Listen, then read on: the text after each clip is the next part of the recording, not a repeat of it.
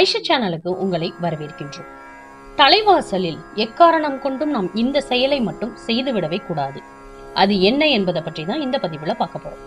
ஐஷா சேனலை சப்ஸ்கிரைப் பண்ணிக்கோங்க பக்கத்தில் இருக்கிற பெல் ஐக்கானையும் பிரஸ் பண்ணிக்கோங்க.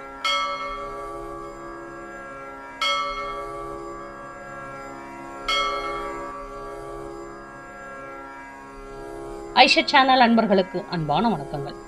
தலைவாசல் அப்படின்றது ஒரு வீட்டிற்கு மிகவும் ஒரு முக்கியமான ஒரு இடம். அந்த தலைவாசல்ல தான் லக்ஷ்மி தேவியும் நம் குலதெய்வமும் குடிகொண்டு நம்மை பாதுகாத்து வருகிறார்கள். நமக்கு எல்லா விதமான நன்மைகளையும் அந்த தலைவாசல் வழியா தான் கொண்டு வந்து நம்மிடம் சேர்க்கிறார்கள். அதனால இந்த தலைவாசலானது எப்பொழுதும் ஒரு புனிதமான இடமாகவே கருதப்படுகின்றது. அப்படிப்பட்ட தலைவாசல் பக்கத்துல நம்ம என்னென்ன வேலைகள்லாம் செய்யறோம் அப்படின்னு பார்க்கும் பொழுது ஒரு சில வீடுகள்ல வாசலை திறந்த உடனே ரோடு இருக்கும் அதுல பைப் இருக்கும். பைப்ல தண்ணி பிடிச்சு அங்கேயே நம்ம வந்துட்டு துணிகளை அலசுவதோ அல்லது பாத்திரங்களை கொண்டு வந்து போட்டு நம்ம வந்துட்டு கழுவி எடுப்பதோ கூடவே கூடாது.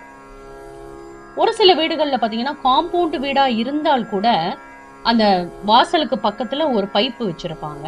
எதுக்கு அப்படின்னு சொன்னா வாசல் தெளித்து கோலமிடுவதற்கு அந்த பைப்ல இருந்து ஈஸியா தண்ணி பிடிச்சுக்கலாம். அப்படின்ற வசதிக்காக அந்த இடத்துல பைப் வச்சிருக்கோம். ஆனா வீட்டில் இருக்கக்கூடிய பெண்மணிகள் அந்த குழாயை எப்படி பயன்படுத்துவாங்க அப்படின்னா துணியை ஊற வச்சு அந்த இடத்துலயே துவைத்து அந்த இடத்துலயே அலசி காய போடுறதுக்கு அந்த பைப் ரொம்ப வசதியா இருக்கு அப்படின்னு தலைவாசல்ல இந்த வேலைகளை செய்வோம். அதே போல தண்ணி வரும்போதே அங்கேயே நம்ம வந்துட்டு பாத்திரத்தெல்லாம் கழுவி எடுத்துருவோம் அப்படின்னு சொல்லி அந்த தலைவாசல் பக்கத்திலே பாத்திரங்களையும் கழுவி எடுப்போம். இது போன்ற இந்த இரண்டு வேலைகளையும் ஒரு வீட்டுல தலைவாசல் பக்கத்துல செய்யவே கூடாது. இது போன்ற வேலைகளை செய்வதற்கு தான் கொல்லைப்புறம் என்ற ஒரு இடம் இருக்கு. அதை நம்ம முன்னோர்கள் மிக அழகாக பயன்படுத்தி வந்தார்கள். அதாவது ஒரு வீட்டோட கழிவறை ஆகட்டும் அல்லது கிணறாகட்டும் துவைக்கக்கூடிய கல்லாகட்டும் பாத்திரம் கழுவக்கூடிய இடமாகட்டும் அனைத்துமே இந்த கொல்லைப்புறத்துல தான் இருக்கும். வீட்டு தலைவாசல் பகுதிக்கு இது போன்ற வேலைகளை எடுத்துக்கொண்டு வரவே மாட்டார்கள். தண்ணி பிளங்குற இடம் துவைக்கிற இடம் எல்லாமே வீட்டோட பின்பகுதியில தான் இருக்கும். அதனால அந்த வீட்டிற்கு எந்த விதமான கேடுமே இருக்காது. ஆனா இன்றைய காலகட்டங்கள் நமக்கு எங்க வசதியா இருக்குதோ அந்த இடத்துல நம்ம உட்கார்ந்து எல்லா வேலைகளையுமே செய்யறோம் மிக முக்கியமாக இந்த தலைவாசல் பக்கத்துல.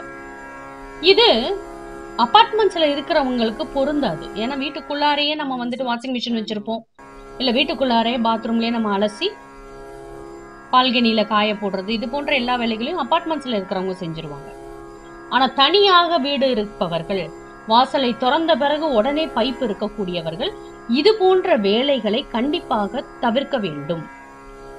இது போன்ற வேலைகளை அவர்கள் செய்ய செய்ய அந்த வீட்டில இருக்கக்கூடிய லட்சுமி கடாட்சமானது குறைந்து கொண்டே இருக்கும்.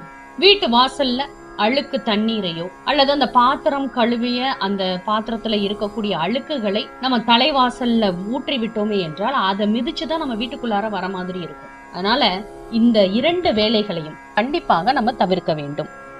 இன்னும் சில வீடுகள்ல ரொம்ப கொடுமையான விஷயம் என்ன அப்படின்னு பார்த்தீங்கன்னா சின்ன குழந்தைகளை அந்த பைப்படியிலேயே வச்சு குளிக்க வைக்கிறது. ஏன்னா அந்த தண்ணீரை எடுத்துட்டு போய் நம்ம வீட்டுக்குள்ளார வைக்கிறதுக்கு ஒரு சோம்பேறித்தனம். இங்கேயே தண்ணி வருதே நம்ம இங்கேயே குளிப்பாட்டிடுவோம் நம்மளுடைய குழந்தைகளை. அதனால பெண்கள் இது போன்ற வேலைகளை தயவு செய்து தவிர்த்து விடுங்கள். உங்க வீட்டு வாசப்படியில உங்களுக்கு பைப்பு இருந்துச்சுன்னா ரொம்ப நல்லது. அதுல தேவையான அளவு தண்ணீரை பிடித்து உங்க வீட்டிற்குள் எடுத்து வந்து இது போன்ற வேலைகளை நீங்க வீட்டிற்குள் செய்வதுதான் ஒரு சரியான ஒரு முறை. அதனால இப்ப வரைக்கும் இந்த தவறை நீங்க செஞ்சிருந்தீங்கன்னா கூட இனிமேலாவது இதை தவிர்த்து விடுங்கள். உங்கள் வீடு சுபிக்ஷமான வீடாக மாறும். மேலும் இது போன்ற தகவல் அறிய ஐஷட் சேனலை சப்ஸ்கிரைப் பண்ணுங்க ஷேர் பண்ணுங்க. உங்களுடைய கருத்துக்களை எங்களுக்கு பதிவு பண்ணுங்க. நன்றி வணக்கம்.